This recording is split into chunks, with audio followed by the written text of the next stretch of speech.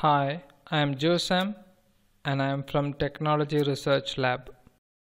Modern applications are designed and deployed as a collection of domain based microservices. These services and web application services should have stateless interaction in order to scale smoothly in the cloud. Token based security is one of the key parts of microservices security as it is used in a stateless way instead of traditional cookie or session based stateful approach. Let's see what is a JSON Web Token or JWT. JSON Web Token are open industry standard method for representing claims securely between two parties. In an abstract definition, a JSON Web Token is a JSON object that is defined in RFC 7519 as a safe way to represent a set of information between two parties. In other words, JSON Web Token is an open standard that defines a compact and self-contained way for securely transmitting information between parties as a JSON object. This information can be verified and trusted because it is digitally signed. Here in this definition, compact means it is in compact size and can be sent through an URL or a post parameter or inside an HTTP header. Also, compact size will facilitate faster transmission. Being self-contained means the payload contains all the requisite information about the user and thereby reducing any concurrent queries. Let's see how a JSON Web Token works through this diagram. As the user successfully logs in using their credentials, a JSON Web Token along with a secret will be created and returned to the browser, which must be saved locally. This approach is different from the traditional approach of creating a session in the server and returning a cookie. Now, whenever the user wants to access a protected resource, the user agent should send the JWT typically in the authorization header. This is a stateless authentication mechanism as the user state is never saved in the server memory. The server's protected routes will check for a valid JWT in the authorization header and if it is present, the user will then be allowed to access the protected resources. Keep in mind the JWTs are self-contained which reduces the concurrent queries as all the necessary information is there in the token. This allows you to fully rely on data APIs that are stateless and even make requests to downstream services. It doesn't matter which domains are serving your APIs, so cross-origin resource sharing won't be an issue as it doesn't use cookies. JSON Web Token Structure A JSON Web Token is a tag with three different parts separated by a dot and the three different parts are header, payload and signature. This is how a typical JSON web token looks like. Let's look into these three parts in detail. Header. The header typically consists of two parts. The type of the token which is the JWT and the type of the hashing algorithm being used. Here the value of the TYP key specifies that the object is a JWT and the value of the ALG key specifies which hashing algorithm is used to create the JWT signature component. This JSON header is encoded using base64 URL to form the first part of the JWT which is the JSON Web Tokens header. Next is payload. The second part of the token is the payload, which contains the claims.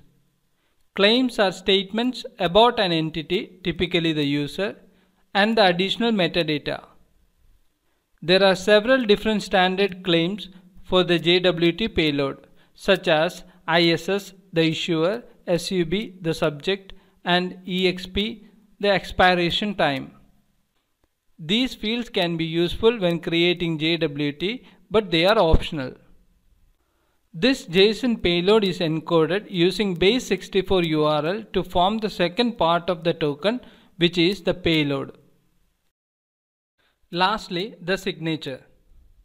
To create the signature part, you have to have the encoded header, the encoded payload, a secret, and the algorithm that's specified in the header. The signature is used to verify the sender of the JWT is who it says it is and to ensure that the message was not changed along the way. Now the encoded signature using base64 URL will then be added to the end separated by a dot. It is important to understand that the purpose of using JWT is not to hide or to obscure data in any way.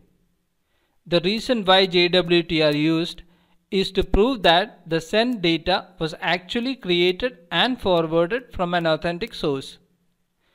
The data inside JSON Web Token is encoded and signed but not encrypted. Hence, it is best advised to avoid any sensitive data. You can choose a debugger to decode, verify and generate JSON Web Tokens. There are many topologies available to debug JWT. For our demo purpose, let us use the JWT debugger. Here we have to add the debugger to Chrome. It will prompt us to add the extension and once it is added, we are all set to use the debugger. This is a typical JWT token with header, payload and signature. Here you can see an encoded token and a corresponding decoded header, payload and signature.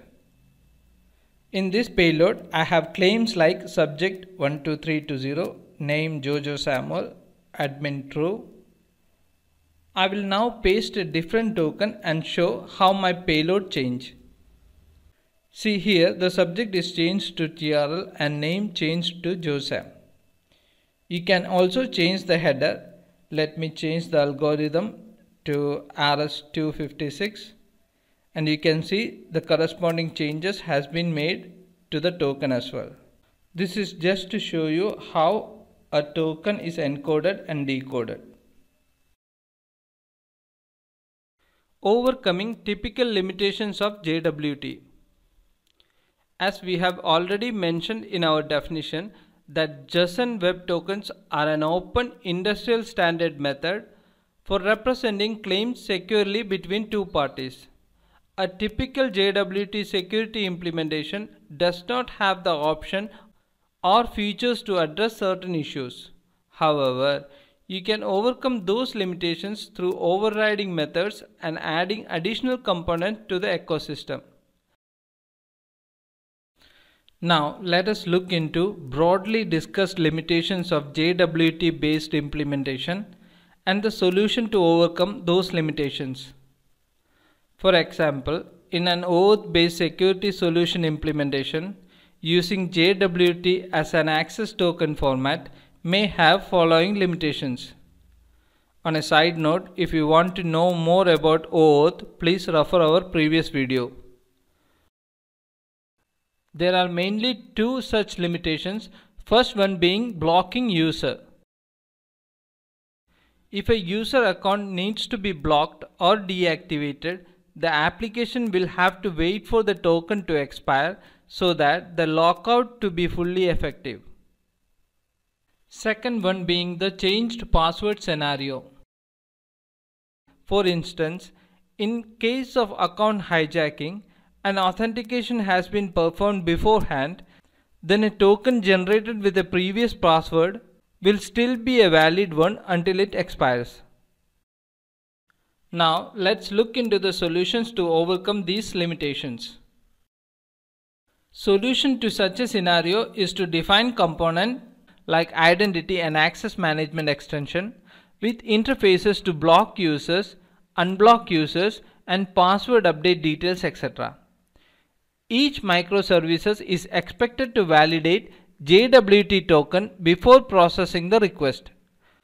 Override JSON Web Token validation method and consume identity and access management extension service to verify whether user is blocked or not or password has been changed or not. For example, if user is blocked, then send appropriate message to the consumer instead of processing the request. This way, one can overcome the limitations present in the security solution implementation using JWT as token. In our subsequent video, we will discuss this in detail. Also keep in mind that the JSON Web Token is method for representing claims securely between two parties and the solution mentioned here is more implementation related. If you want to know more about JWT standards, follow the link provided in the description box.